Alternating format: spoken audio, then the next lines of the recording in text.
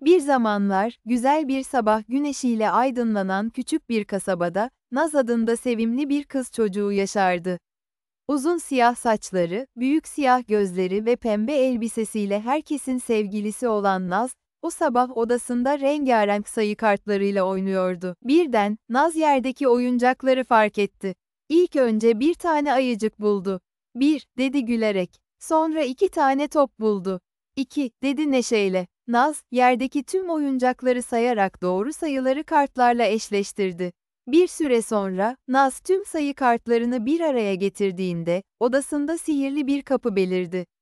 Naz kapıyı araladığında, kendini büyülü bir dünyada buldu.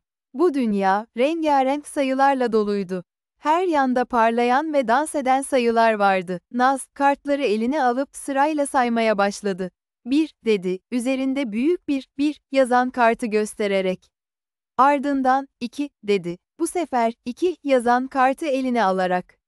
Bu şekilde, birden ona kadar tüm sayıları öğrenmeye koyuldu. Naz, sayıları öğrenirken kartları havaya fırlatıp dans ettiriyordu. Renkli sayılar, odanın içinde süzülüp dönerken, Naz kahkahalarla onlara eşlik ediyordu.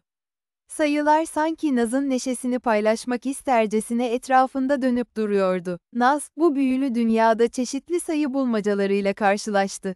Doğru sayıları bularak bulmacaları çözdü ve her seferinde yeni sayılar öğrendi. Sayılarla dolu bu dünya, Naz'a hem eğlence hem de bilgi sundu. Naz, bu büyülü dünyada sayılarla birlikte şarkı söylemeye başladı. Renkli sayılar etrafında dans ederken Naz da onlarla birlikte şarkılar söyledi.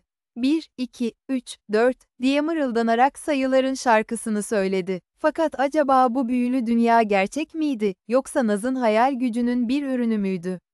Kim bilir, belki de rüyalarında bir gün tekrar bu renkli sayı dünyasına geri dönerdi. Naz için sayılar artık sadece birer rakam değil, her biri kendi hikayesine sahip sihirli arkadaşlardı.